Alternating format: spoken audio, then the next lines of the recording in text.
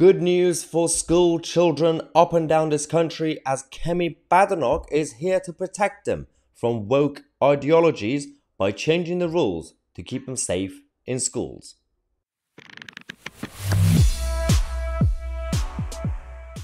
Thank God we have people like Kemi Badenoch in this government who are pushing and pushing the conservative agenda uh, against the woke uh, ideologies and, of course, the brainwashing mentality going on and not just in schools, but of course across the social media and all the cultural institution and art and entertainment and everything else that you see from Disney and Netflix to the classrooms. So we have this issue, uh, which we've talked about quite recently. Uh, some uh, schools and teachers are, um, some of them are obviously woke, so they're actually spreading propaganda, and some of them who are just normal people, they just want to teach, they are getting into trouble for language because some language is offensive, apparently. It's all about the extreme gender lobby and the pronouns issues. So, a teacher who said, Good afternoon, girls, in a, a, a girls' school, basically, was forced to apologize in a gender clash with pupils. I mean, they were all girls, but the teacher got into trouble for saying, Good afternoon, girls. What, what are you supposed to say? Good, good afternoon, humans? Or you people? Whatever, whatever you say these days? Makes no sense. The philosophy and religious uh, education teacher said that she was managed out by senior staff at the school after refusing to use only preferred pronouns. Why? Why is this even a thing?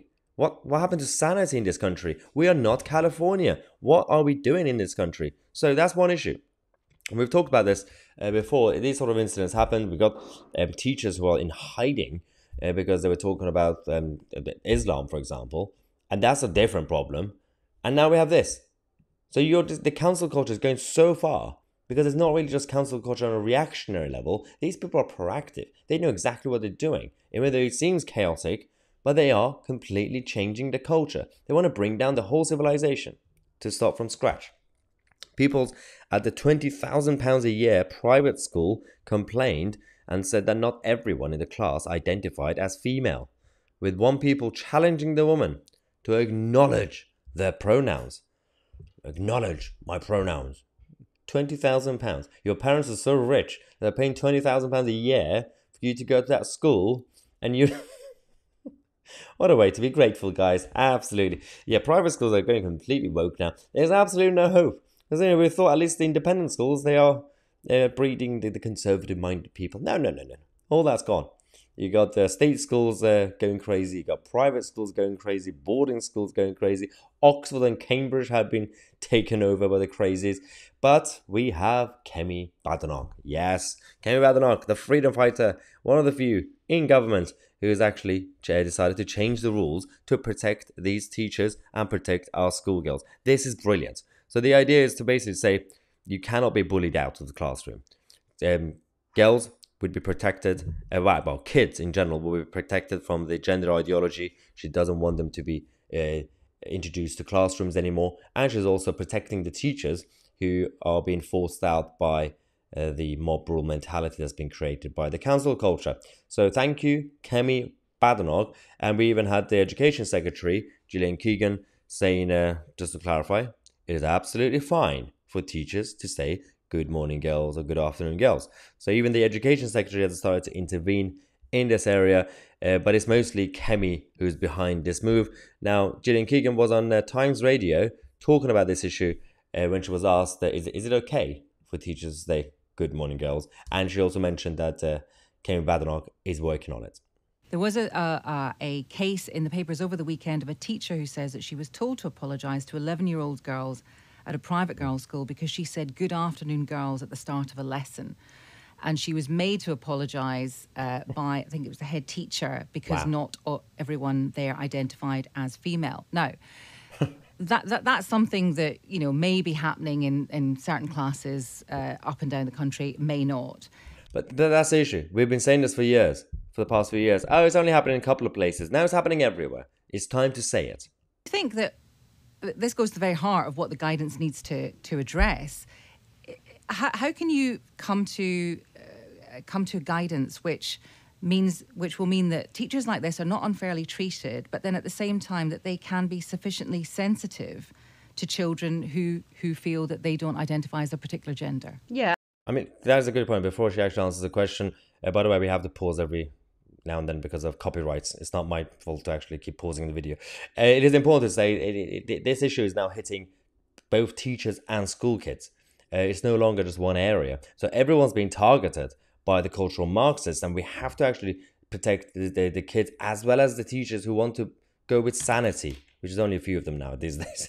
And that's obviously the tricky balance that we need to get. And we need to be sensitive, obviously, to children, but more importantly, make sure parents are fully involved as well. We need to look after the well-being of all pupils. In that case, you know, the well-being of girls is also very important. And good morning, girls is absolutely fine to say uh, in a girls' school to a to a girls' class. You know, and we have to be sensible and have a you know big dose of common sense here.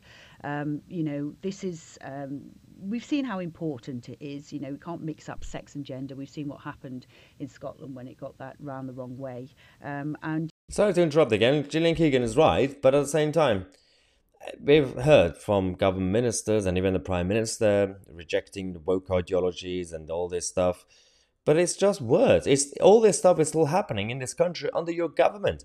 I, I mean, obviously, we have some good news today about Kemi Badenoch changing things, but what about the rest of it? You know, the prime minister comes out and says something sound, saying, "Yeah, we only have uh, men and women and all this," but it's still happening under your nose. You know, really, our guidance needs to provide um, safeguarding for all children and make sure that uh, you know it does cover uh, all children's rights as well. So, it, it, yes, we need to be sensitive, but we also need to have common sense. And when is that guidance coming? It will be published before the summer recess. Okay. I'm working with the Women Equalities Minister um, and others as well to make sure that we get that uh, balance right. And then it will be consulted on. So it will be a draft which will be put forward for consultation um, so that we can get all the views. Because we do know that it is a sensitive area. There's lots of people who have different views, and uh, we want to make sure that we can uh, consult on those views. Okay, so the good news is added uh, with a, a bit of pinch of salt because uh, the government are doing government stuff. They're gonna they issue the draft, good, before the summer recess. So quite nice coming up, and then they're gonna do consultations, review, have a meeting about having a meeting about having a meeting. So I think we can expect these changes to come in place uh, in 2045. so, but this isn't really Kemi's fault. It's just the process of government. The whole system is broken. Somebody needs to shake things up. We have to make things more uh, um, efficient, streamline the whole situation. Everything in the Whitehall machine is just idiotic. It makes absolutely no sense. You're wasting taxpayers' money on inquiries and inquiries. Nothing actually changes. You have to get things done properly.